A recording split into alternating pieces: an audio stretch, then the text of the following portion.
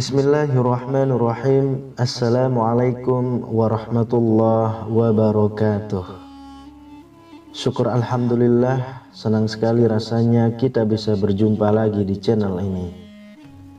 Salawat dan salam selalu dan tetap tercurahkan kepada junjungan kita Nabi besar Muhammad Sallallahu alaihi wasallam. Allahumma salli ala Sayyidina Muhammad Wa ala ahli Sayyidina Muhammad. Sahabat beriman yang dirahmati Allah, berdoa merupakan salah satu upaya yang dilakukan oleh setiap muslim ketika berharap sesuatu dari Allah Subhanahu wa taala. Karena tak bisa dipungkiri manusia adalah makhluk yang lemah dengan segala kekurangan dan keterbatasan yang dimilikinya. Untuk itu, kita sangat membutuhkan pertolongan dari Sang Khalik dan pertolongan tersebut akan datang setelah kita melakukan permohonan kepada Allah Subhanahu wa taala melalui doa-doa yang sering kita panjatkan sehari-hari. Bahkan Allah Subhanahu wa taala pun menjamin akan mengabulkan setiap doa hamba-hambanya. Karena Allah sangat menyukai hamba-hambanya yang selalu berdoa kepadanya. Perkara dikabulkan atau belum dikabulkan sepenuhnya adalah urusan Allah. Kita sebagai manusia hanya mampu berusaha setelah berdoa.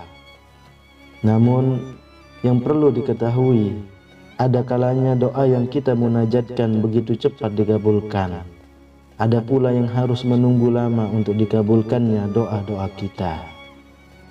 Meski belum dikabulkan, kita sangat tidak dianjurkan untuk mengeluh dan putus asa dalam berdoa.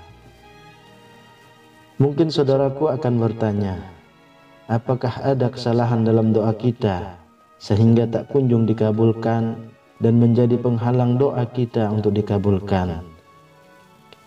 Coba saudaraku perhatikan lima hal yang menjadi penghalang doa kita ini. Siapa tahu dari saudaraku semuanya masih ada yang melakukan beberapa hal berikut ini. Yang pertama adalah melalaikan hak-hak Allah Subhanahu wa taala.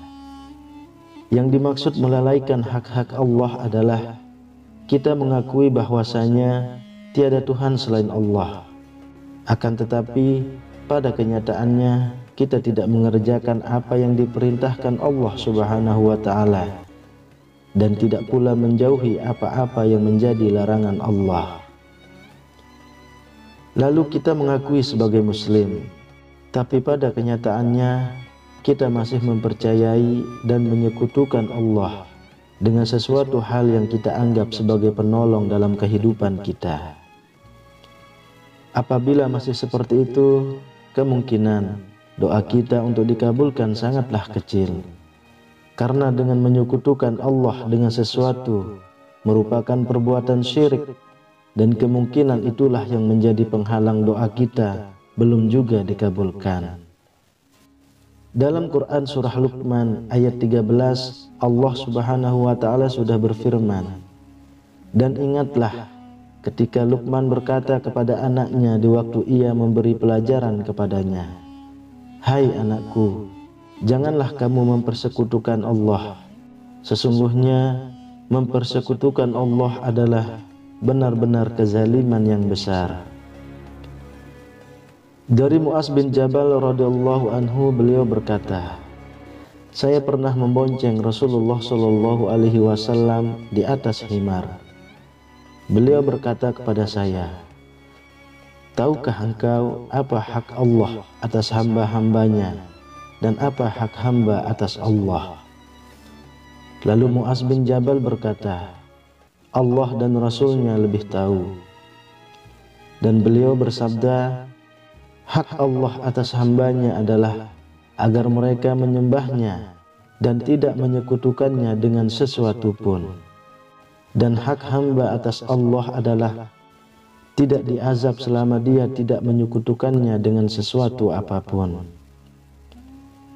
Dari penjelasan tersebut sudah sangat tegas dikatakan bahwa apabila kita menyekutukan Allah dengan sesuatu, maka doa kita sulit untuk dikabulkan. Untuk itu, saya sarankan kepada saudaraku semuanya, hindari sebisa mungkin untuk menyekutukan Allah dengan sesuatu dan yakinlah seyakin-yakinnya bahwa hanya Allah Subhanahu wa taala yang bisa mengabulkan doa kita. Lalu yang kedua, masih memakan dan meminum yang jelas-jelas diharamkan.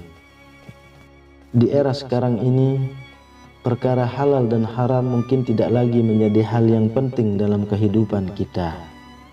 Segala cara dilakukan untuk memperbanyak dan menumpuk harta dunia sehingga kita menjadi lupa akan kehidupan di akhirat. Lalu yang terjadi adalah segala cara akan dilakukan seseorang demi mendapatkan harta dunia yang banyak tanpa memperhatikan bagaimana cara untuk mendapatkannya. Sehingga ketika harta tersebut kita belanjakan, maka kita telah memakan dan minum dari harta yang kita dapatkan dengan cara yang kurang baik. Rasulullah Shallallahu Alaihi Wasallam pernah bersabda, "Wahai sekalian manusia, sesungguhnya Allah itu baik. Dia tidak akan menerima melainkan yang baik pula. Dan sesungguhnya Allah telah memerintahkan kepada orang-orang mukmin seperti yang diperintahkannya kepada para rasul. Kemudian Nabi Shallallahu Alaihi Wasallam menceritakan tentang seorang laki-laki yang telah lama berjalan karena jauh jarak yang ditempuhnya, sehingga rambutnya kusut, masai dan berdebu. Orang itu mengangkat tangannya ke langit seraya berdoa, "Wahai Tuhanku, Wahai Tuhanku, padahal makanannya dari sumber yang haram, minumannya dari yang haram, pakaiannya dari yang haram, dan diberi makan dengan makanan yang haram, maka bagaimanakah mungkin akan dikabulkan doa orang seperti itu? Hadis riwayat Muslim. Dari hadis tersebut, kita bisa memetik hikmah bahwasanya sebisa mungkin kita menghindari hal-hal yang cara mendapatkannya dengan cara yang tidak baik atau dengan cara yang haram. Supaya ketika kita berdoa kepada Allah Subhanahu wa taala doa kita bisa segera dikabulkan. Yang ketiga tidak sungguh-sungguh dan mudah melupakan doa. Yang dimaksud tidak sungguh-sungguh dan mudah melupakan doanya adalah ketika kita berdoa kita tidak sungguh-sungguh dalam doa tersebut dan juga tergesa-gesa sehingga menyebabkan apa yang telah kita minta kepada Allah Subhanahu wa taala seolah tidak benar-benar kita inginkan. Kalau saya mengibaratkan sama halnya kita berdoa seperti ini. Ya Allah, kabulkanlah doaku jika Engkau ingin. Saya sangat paham di tengah kesibukan bekerja Tentu hal tersebut membuat kita menjadi kurang sungguh-sungguh dalam berdoa. Apalagi jika masih ada pekerjaan yang harus segera diselesaikan. Meski begitu, saya sarankan, carilah waktu yang tepat supaya saudaraku semuanya bisa berdoa dengan sungguh-sungguh dan rendah diri, mengharap kepada Allah Subhanahu wa Ta'ala supaya doa kita bisa dikabulkan. Dari Abu Hurairah Rasulullah Shallallahu Alaihi Wasallam pernah bersabda, doa salah seorang di antara kalian pasti akan dikabulkan, selagi ia tidak terburu-buru dengan mengatakan, aku telah berdoa, namun tidak kunjung dikabulkan. Hadis riwayat muttafaq alaih. Dari hadis tersebut sudah jelas dikatakan bahwa apabila kita hendak berdoa seharusnya tidak terburu-buru dan juga sebisa mungkin untuk menghindari mengucapkan aku telah berdoa tapi tak kunjung juga dikabulkan. Akan tetapi yang harus kita lakukan adalah walaupun belum dikabulkan hindari untuk berputus asa, mengeluh, atau bahkan berprasangka kurang baik kepada Allah Subhanahu wa Ta'ala, karena kita tahu doa seorang hamba tergantung prasangka dari hamba tersebut terhadap Allah Subhanahu wa Ta'ala. Jika kita berprasangka baik, maka Allah akan mengabulkan doa kita. Jika prasangka kita kurang baik, doa kita akan ditunda terlebih dulu sampai hati kita bisa bersih dari prasangka kurang baik kepada Allah Subhanahu wa taala. Yang keempat, meninggalkan amar ma'ruf nahi mungkar. Yang dimaksud amar ma'ruf nahi mungkar adalah mengerjakan yang baik dan meninggalkan yang kurang baik. Islam mengajarkan kita untuk saling bersosial dalam masyarakat. Sudah sepantasnya kita sebagai manusia yang bermasyarakat diwajibkan untuk berbuat baik, menyerukan kebaikan kepada sesama, dan mencegah segala sesuatu yang kurang baik. Namun, pada kenyataannya, Kadang kita malah terbalik mengartikan amar ma'ruf nahi mungkar.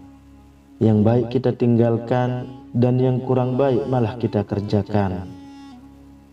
Apabila saudaraku semuanya menjadi pendukung hal-hal yang kurang baik, niscaya Allah Subhanahu wa taala akan menolak doa kita dan bisa jadi mengirimkan peringatan kepada kita. Dari Huzaifah bin Al-Yaman Rasulullah Shallallahu Alaihi Wasallam pernah bersabda, demi Rob yang jiwaku berada di tangannya, hendaklah kalian bersungguh-sungguh menyuruh berbuat kebaikan dan mencegah kemungkaran, atau Allah akan menimpakan siksaan kepada kalian dari sisinya. Kemudian kalian berdoa kepadanya, tetapi dia tidak mengabulkan doa kalian. Hadis riwayat Tirmizi dan Ahmad. Kemudian yang kelima adalah melampaui batas ketika berdoa. Entah disadari atau tidak, kita sebagai manusia sering sekali melampaui batas ketika menginginkan sesuatu. Sehingga ketika doa tersebut dikabulkan, justru kita malah tidak amanah dengan apa yang kita minta. Karena ketidakmampuan dan ketidaktahuan kita dalam menerima apa yang kita minta. Bahkan saya masih melihat ada cara-cara berdoa yang sangat tidak dianjurkan. Misalnya adalah kita berdoa di bawah pohon keramat yang menurut kita saat berdoa di bawah pohon keramat maka doa kita akan didengar dan segera dikabulkan Allah Subhanahu wa taala. Sahabat beriman yang dirahmati Allah, apabila masih ada yang berdoa dengan cara tersebut, itu sudah menandakan bahwa kita telah syirik kepada Allah. Jadi sangat wajar jika doa kita tak kunjung dikabulkan. Dalam Quran surah Al-A'raf ayat 55 Allah Subhanahu wa taala berfirman Berdoalah kepada Tuhanmu dengan berendah diri dan suara yang lembut. Sesungguhnya Allah tidak menyukai orang-orang yang melampaui batas. Yang dimaksud dengan rendah diri adalah dengan segala ketidakmampuan kita sebagai manusia yang lemah dan meyakini hanya karena kuasa Allah lah doa kita bisa dikabulkan.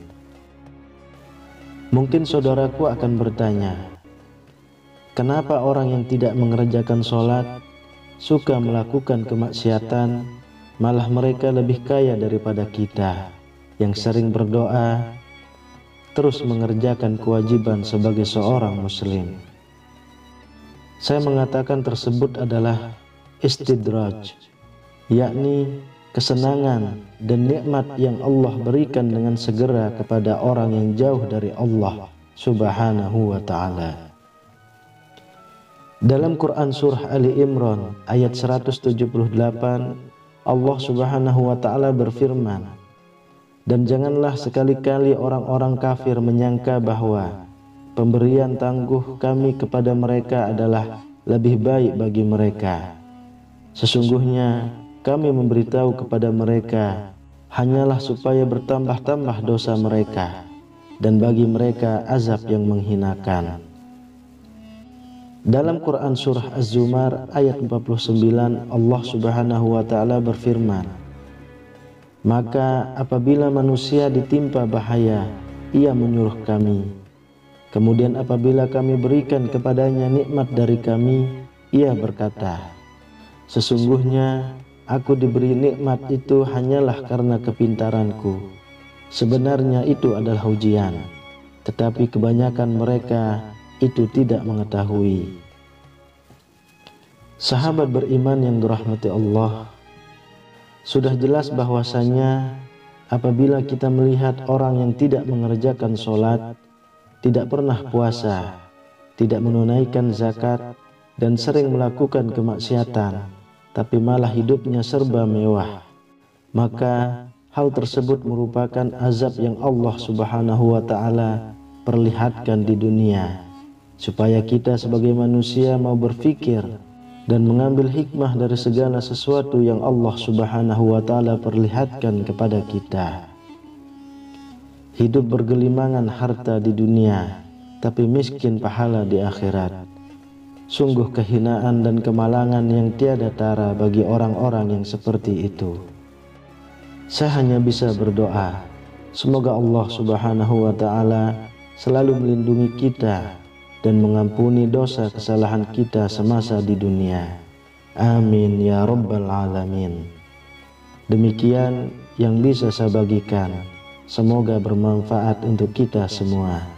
Assalamualaikum warahmatullahi wabarakatuh.